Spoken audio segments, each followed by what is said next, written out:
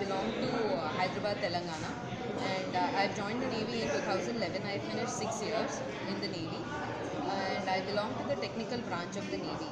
So before joining the ocean sailing node, I was into the adventure wing of the Navy, and I've done a lot of adventure activities with Navy.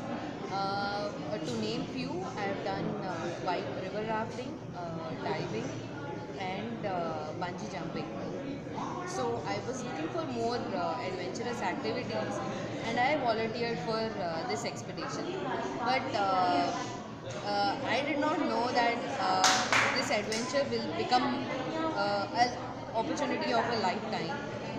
But then we've been training for past one and a half year for this big voyage to come and I'm really li- looking forward for a very successful voyage because we believe in our own skills and uh, the training that we have done for past one and a half years and the way we were guided by our mentors, uh, retired Captain Dilip Donde, and I believe we'll uh, have a very successful voyage. And what are the challenges you uh, think you would be facing?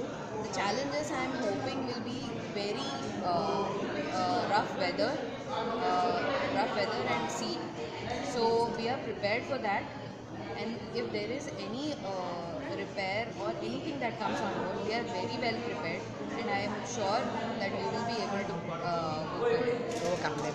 What about the marine life which is there in the sea, which can be dangerous at times? Not really. Actually, our boat is very friendly to the marine life because we don't run on an engine and oil everywhere we go. So the fishes and the marine life, that is, they come very close to the boat and they are friendly to us. In fact, they might help us do this voyage, but no, they will not harm us. Thank you. Thank you so much. All the best.